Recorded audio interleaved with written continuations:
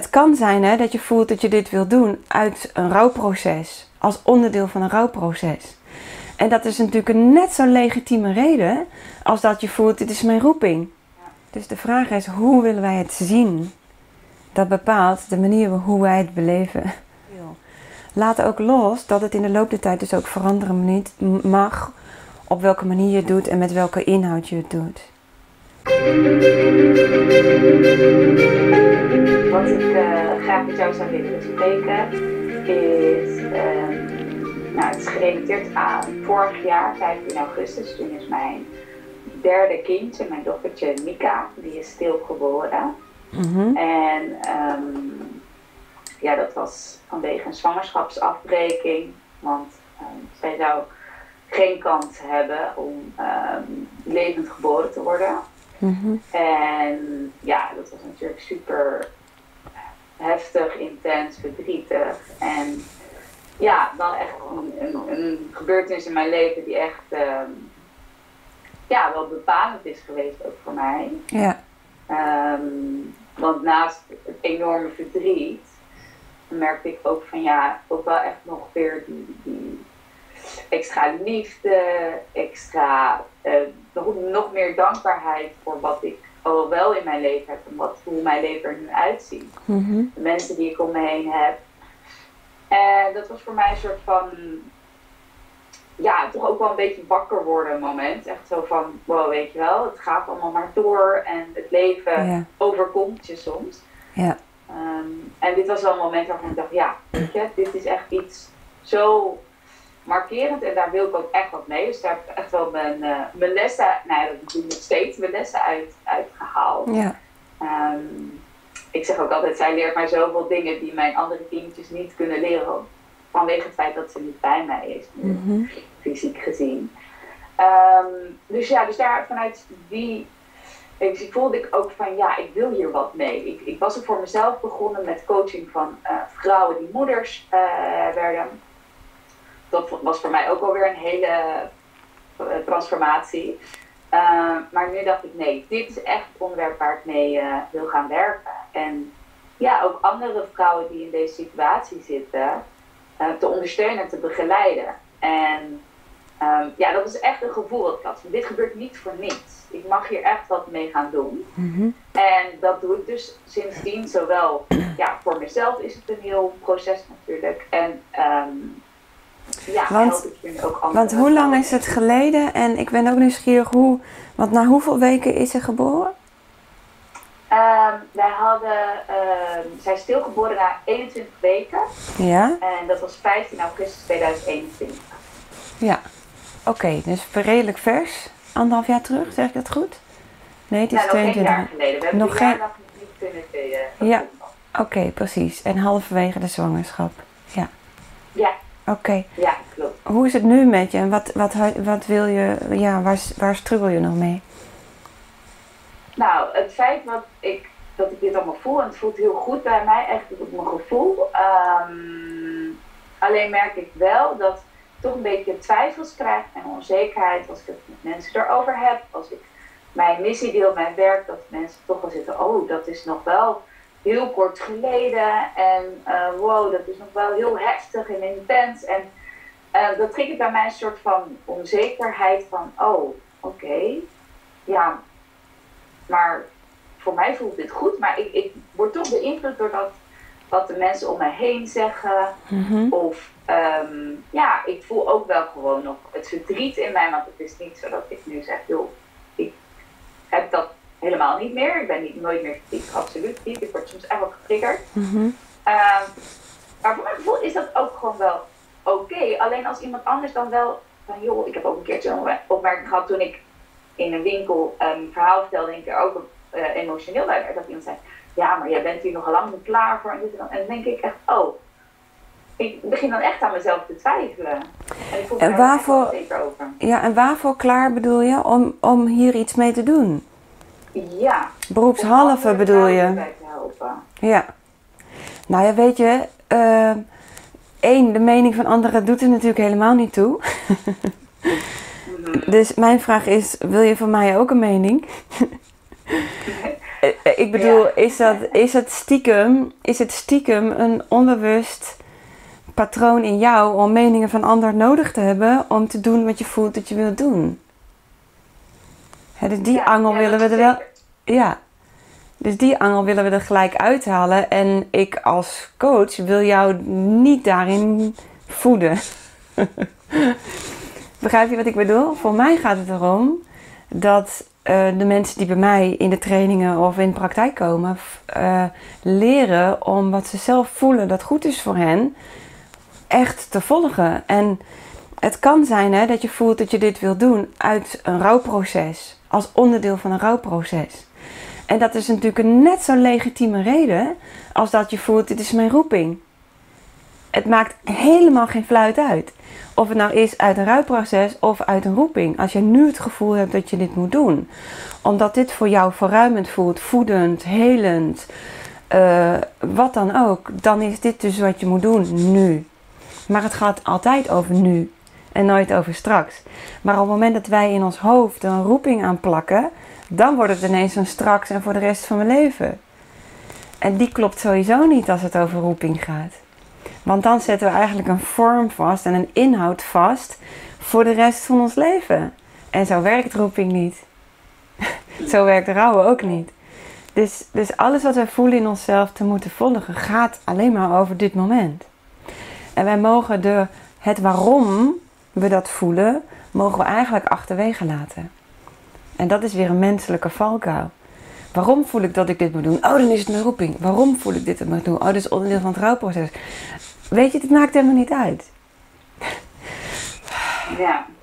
Als jij hier blij van wordt om hier op dit moment met anderen over te praten en te delen wat je, heeft, wat je inzichten zijn. En dan snijdt dat mensen aan alle kanten. Tot het moment dat het in vorm verandert of niet meer nodig is of juist uitgebouwd gaat worden. Maar dat mogen we loslaten. Ja, ja ik herken heel erg wat je zegt, dat ik het een soort van wilt wil onderbouwen, legitimeren. Van ik wil er verklaring voor geven van ja, nee, maar het is wel goed dat ik dit doe, want. Precies. dat dus, kan ik eigenlijk helemaal niet goed verwoorden ook. Nee, dus het gaat hier helemaal niet over de inhoud van een verloren kindje. Het gaat hier over een patroon.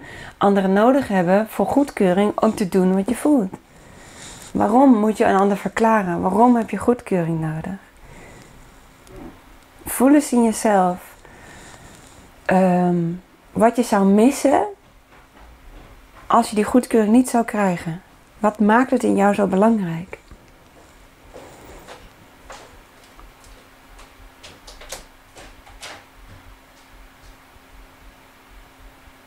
Ja, ja, ik vind dat wel echt een hele lastige.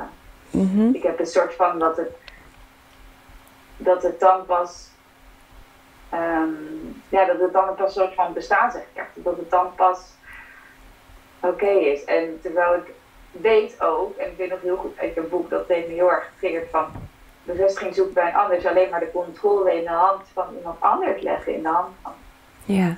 de mensen buiten jezelf. En dat probeer ik ook steeds meer bij mezelf te zoeken. Maar toch af en toe neig ik dan toch weer die beweging te maken naar buiten. Ja. En wat mij daar zo belangrijk is. Ja. Want weet je, de beweging... Niet afgewezen te worden. Dat is denk ik wel echt bij mij een groot ding. Dat ik gewoon bang ben om af te gaan. Ja, dus je gaat van tevoren aftasten. Wat vindt een ander ervan? Zodat je als je het straks doet niet afgewezen wordt. Ja.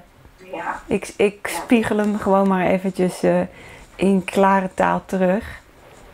Want we mogen daar ook best mee geconfronteerd worden, hè? Want weet je, als ik hem nog een stapje verder voer, dan is die andere eigenlijk alleen maar een projectie van jezelf.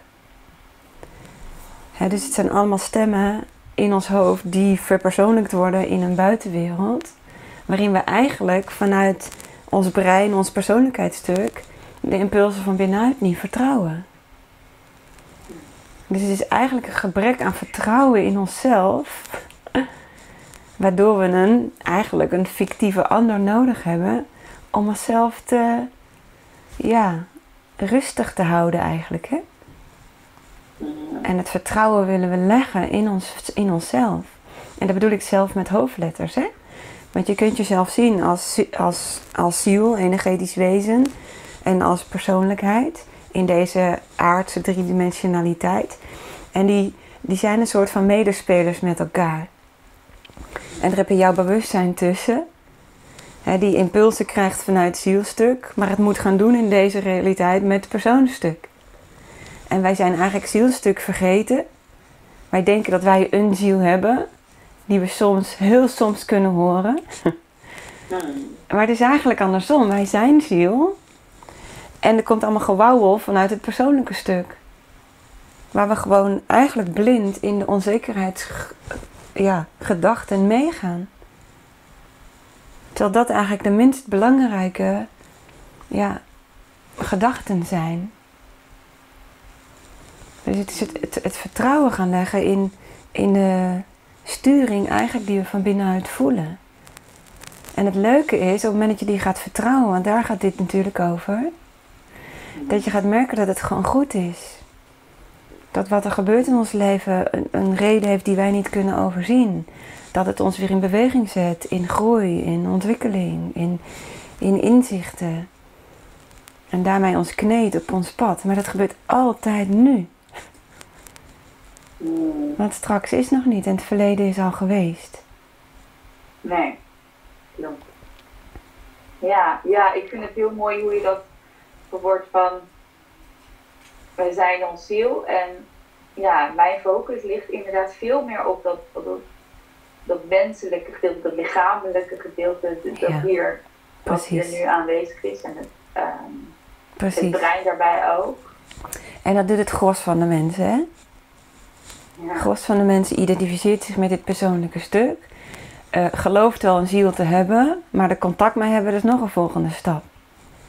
En pas wanneer je realiseert, en dat is een zelfrealisatie, want zelf met hoofdletters is dat zielstuk of nog groter bewustzijn, wat zelfs daar nog aan vooraf gaat. Of het omvat, kan ik dat beter zeggen, maar goed, het gaat nog een brug te ver. of een nog verder. Als we alleen al kunnen verschuiven naar een soort van ik-besef in zelf.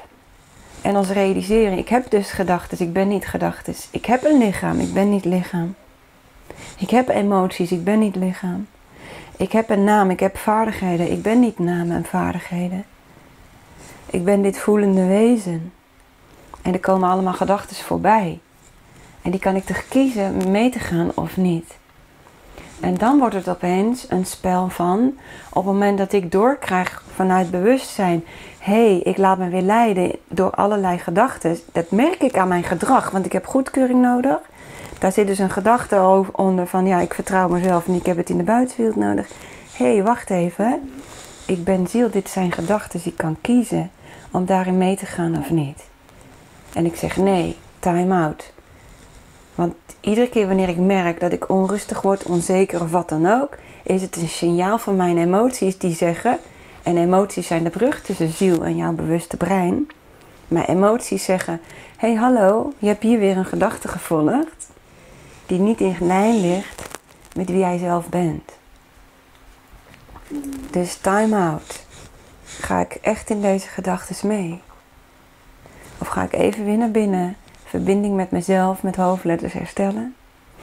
En voelen wat ik van binnenuit voel te moeten doen en hoe te bewegen. En dan wordt het ineens leven in een vierkante meter, waarin je niet weet wat er over twee meter komt of over twee minuten. Dan is het in die vierkante meter je stappen zetten, voelend, ik moet naar rechts. Voelend, ik moet iets op internet. Voelend, ik moet iemand bellen. Voelend, ik wil hierover schrijven. Voelend, ik moet huilen.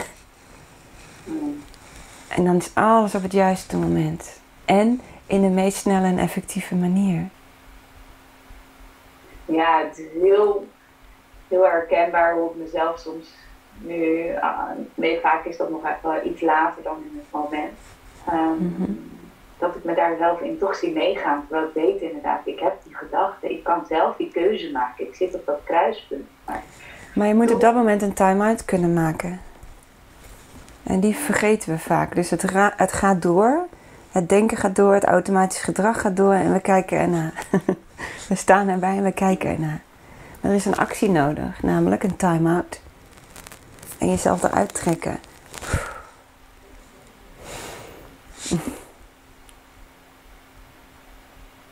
Ja.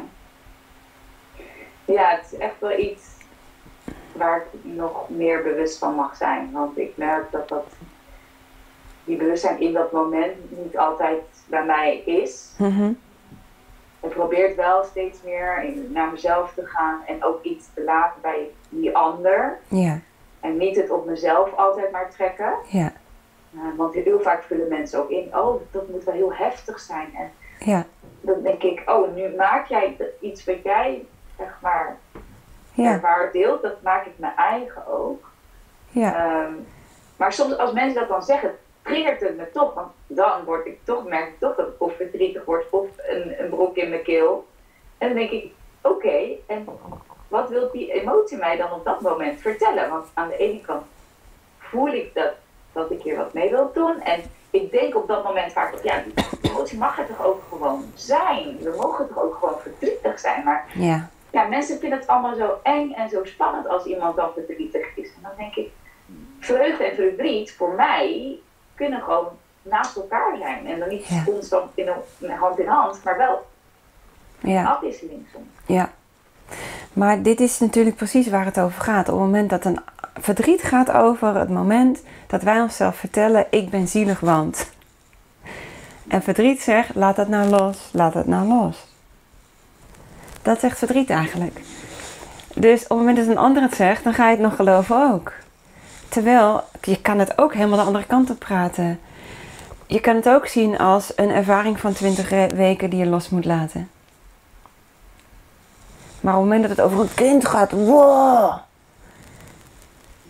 Dat spreekt zo tot de, tot de verbeelding van mensen. Daarmee kan het ook nog eens veel groter worden.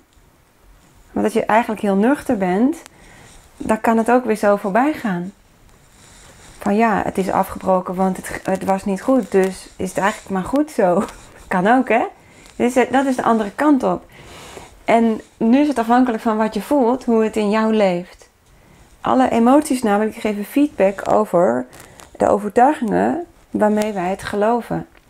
En het een is waar en het andere is ook waar. En het een is niet waar en het andere is ook niet waar. Het is allemaal persoonlijke ervaring, persoonlijke conclusies. En op basis van of die conclusies wel of niet voedend en kloppend voor ons zijn, gaat de emotie feedback geven. Dus eigenlijk kan je zeggen hoe heftiger negatief de emotie is, hoe meer wij een verhaal volgen dat eigenlijk niet bij ons past. Door de bank genomen, hè? het is iets genuanceerder, maar. Ja, Dus de vraag is: hoe willen wij het zien? Dat bepaalt de manier hoe wij het beleven. ja. ja, ik vind het heel mooi hoe je dat ook zegt van... Het komt wel echt bij mij binnen van, oké, het is ehm, een ervaring. Mhm. En ehm, zo, zo, zo voel ik het ook, weet je wel. Ik voel ook wel, natuurlijk, het is, ik heb, ik heb ja, verlies, ik heb haar verloren aan de ene kant, maar aan de andere kant ook niet, want ze is altijd bij me. Mhm. En dus ik draag haar daarin ook mee. En ze zal ook altijd onderdeel van mijn leven zijn. Maar op zo'n manier, niet dat het verdriet heeft, maar dat het ook gewoon de, de extra liefde, de extra dankbaarheid, die draag ik met mij mee vanwege dat wat ik heb meegemaakt. Mhm. En ehm, dat verdriet eigenlijk gewoon, bijvoorbeeld in dit geval, dat iemand zegt, oh wat heftig, dat dat eigenlijk voor mijn gevoel niet klopt, maar Ja. mijn hoofd gaat er toch mee aan de haal. Ja, zeker. Dit is een heel mooi voorbeeld waar, om mensen te leren. Pas nou op wat je tegen iemand zegt. Want dit is een eigen interpretatie, terwijl je helemaal niet weet hoe het voor een ander is. Waarmee je dus iemand eigenlijk in een slachtofferschappositie zet en dus helpt te lijden met een lange ei. Foei mensen, mag je niet meer doen. Check eerst hoe het voor een ander is en gooi dan je eigen dingen eroverheen. het doet me denken aan een anekdote dat ik, dat ik, mijn vader was net overleden. En eh, eh, ik had daar heel veel moeite mee. En toen kwam ik op visite bij, eh, bij mijn broer en er was visite. En die hadden het verhaal van een hele andere kant gehoord. En die ging naast mij zitten echt met zo'n grafstemming. Eh, wat erg, hè? Wat jouw vader allemaal heeft uitgespookt de laatste jaren van zijn leven. ik dacht echt, jongen, jongen, wat krijg ik nou op een bordje? Wat is het doel van dit gesprek? Dus dat is weer een hele andere reactie. Hier, er is iemand, er is een, er is een, nou ja, een overlijden, er is een leven afgebroken. De ene na 75 jaar, de ander na 20 weken. Hè? En uh, hiermee, oh wat erg en rouw verlies voor jou. En de ander zegt, wat vervelend dat je vader dat heeft gedaan. Terwijl ik een rouw was. Dus hoe jouw eigen interpretatie ook is, je weet nooit hoe het voor de ander is. Nee. En hiermee maak je zulke gekke dingen. Want, want ons lijden, al onze emoties geven feedback op wat wij geloven. Dus als wij de verhalen van een ander eigen gaan maken, gaan we nog verder bij onszelf vandaan. Verhalen, verhalen, verhalen, verhalen, verhalen, verhalen. En alles wat wij niet doen met al die verhalen is gewoon echt te leven op ons, met onze vierkante meter, op onze vierkante kilometer, in dit moment. En daar ligt de magie. En mensen vinden verhalen zo magisch. We kijken thrillers, horrorfilms, eh, weet ik wat we allemaal doen. We roddelen, we lezen de stories, allemaal. Ik bedoel, social media, ja, verhalen, wat ik nu terug heb ge... Allemaal verhalen. Het is één grote verslaving aan verhalen. Wat doen we onszelf aan? Ja, allemaal uit het nu heb ik het idee. Allemaal uit het hier. En het... Allemaal weg van het nu. Ja. Dus ja, dan komt dus ja. een ervaring voorbij. En je beleeft hem intens. Daarop krijg je weer inzicht, ervaringen. Uh, je hart gaat open als het breekt, want dat is het mooie van dit soort ervaringen. Waardoor je, waardoor je weer meer liefde voelt. Waardoor je weer gaat denken, ja, wat is nou belangrijk in het leven? Waardoor je weer even terug op de A1 wordt gezet. En ervaring gaat voorbij met jou als nieuw ontwikkeld mens. Dat is eigenlijk feitelijk wat het is geweest. Ja, ja als je het zo beschrijft, echt.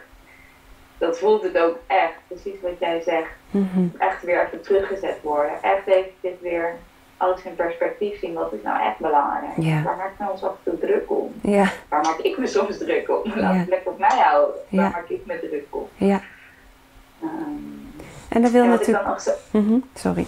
nou, wat ik zou willen vragen in het geval van um, het ene voorbeeld van iemand vertelt van oh wat heftig en het is nog zo kort geleden, dus echt het invullen voor mij, Ja.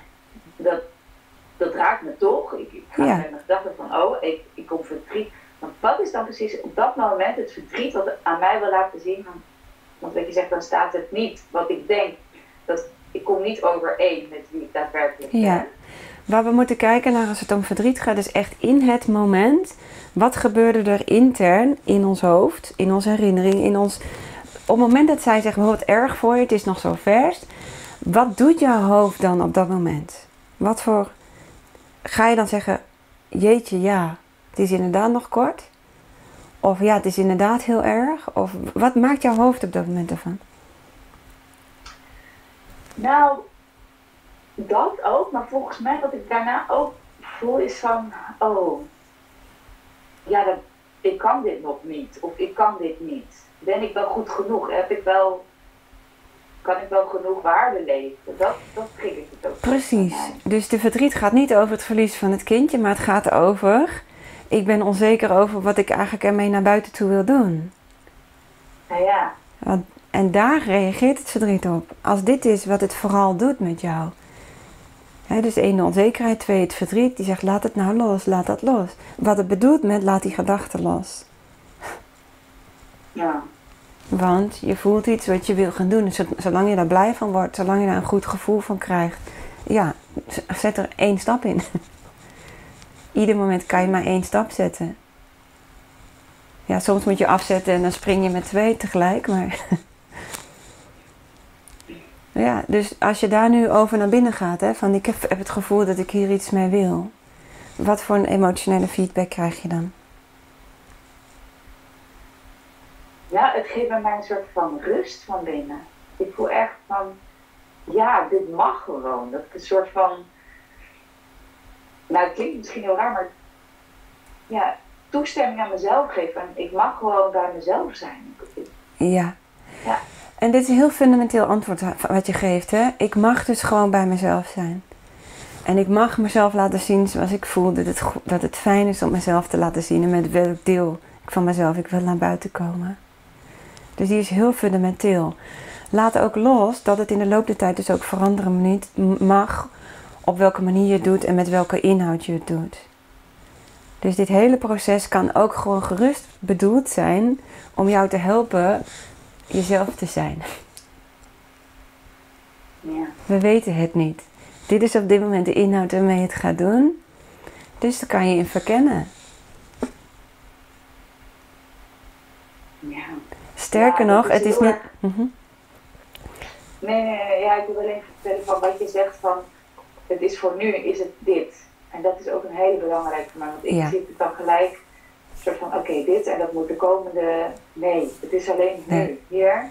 Ja. En wat morgen brengt, dat brengt, ja, dat zie precies, dan. Precies, ja. Dit is het start, een startmoment. En dat verandert continu. Dus we willen niks vastzetten. En dat, als je iets vastzet, kan je niet meer trouw zijn aan wat je voelt. Want dan gaat dit dringen. Dus dit wil je openlaten, dienstbaar inzetten voor wat hier voelt. En gaan. En inderdaad, je mag het van jezelf. Sterker nog, dit wil van binnenuit. Want mensen willen van binnenuit ook naar buiten toe. Dat geeft ons veel meer voldoening dan van buiten naar binnen. Dus dit is echt veel meer voldoende dan goedkeuring, erkenning, liefde, een arm om ons heen. Uh, wat voor materiële dingen, successen ook te behalen zijn. Dit is dat het ons meest vruchten geeft. Ja, ja, toen je dat net ook al zei, van binnenuit. Ja, hoe fijn is dat? Hoe... Ja. Ja, ja. mooi. Dus ja, als dit het is waarmee jij uit, uh, uit je ei komt, dan is dit het. En dan is het dankjewel kindje dat je dit voor mij anseneerde.